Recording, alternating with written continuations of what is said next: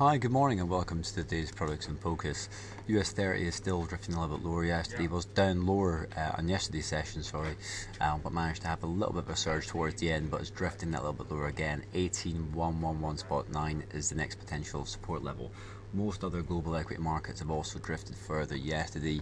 Uh, obviously, they were at kind of record highs or recent highs, uh, so a little bit of a scale back as we get closer and closer to the ECB testimony, not te- testimony, but the ECB press conference uh, tomorrow, and then non-farm payrolls on Friday. But we do have a raft of data today, mainly PMI data, but also ADP private payrolls in the US.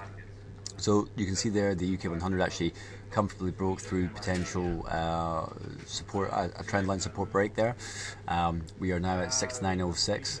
Um, we actually were below that yesterday, which also coincided with the 21 period SMA. Closed bang on that level uh, last night, and we're just drifting uh, that little bit on the wrong side of that level this morning. Any uh, pronounced move below uh, 6906 or below the 21 period SMA opens up and move much lower towards 67.71. But to be fair, we're probably unlikely to see any huge, massive negative shocks until more of the macro data actually comes out. So moving on to Japan 225 uh, and dollar yen is drifting lower again, back down towards 119. So a little bit of yen buying there. Uh, and you can just see that that's that's uh, caused the Japan 225 to um, come to potential support at 18648. Again, the move below that, we've actually accelerated quite far away from the moving averages. So any move below that 18648 opens up 18306 as the next potential level. There are kind of um, little long-legged candles at the bottom of these last two sessions, including today's, which is indicative of the fact there is some buying interest round about this potential support level. Uh, but it's not enough to uh, to springboard up higher. But this is the level to be aware of in Japan 225. So dollar yen as ever as back at what is getting quite close to 119 again.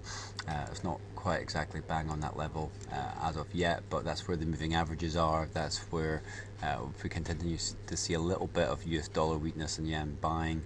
Um, before we get close to the end of the week, this is probably the area where dollar yen will gravitate towards. So 119 as ever is the main pivot for dollar yen. So moving on to gold, um, uh, sorry, West Texas crude. Uh, we had a slight uh, jump last night as um, Saudi oil prices began to tick up and more fighting in Libya.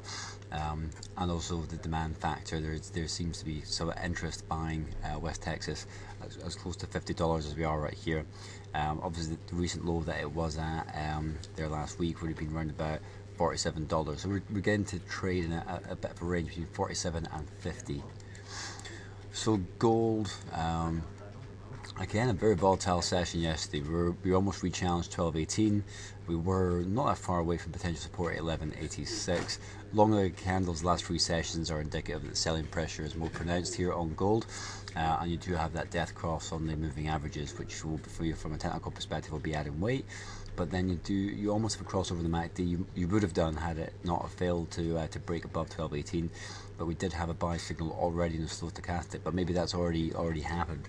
Um, so depending how PMI data comes out today, and I think there's ISM uh, US numbers uh, as well as the ADP private payrolls, um, that will probably have a bit of an impact on gold, depending how positive or negative those figures actually end up being. So moving on to euro dollar, euro dollar's drifting towards um, 111 each day. It's just slowly grinding down. Um, so not much else to talk about there. We did have the break of the uh, symmetrical triangle formation, so 111 is the next potential support to be aware of there. So finishing up with GBP USD, um, we are now hitting the 21 period SMA. We're not far away from the 55 period.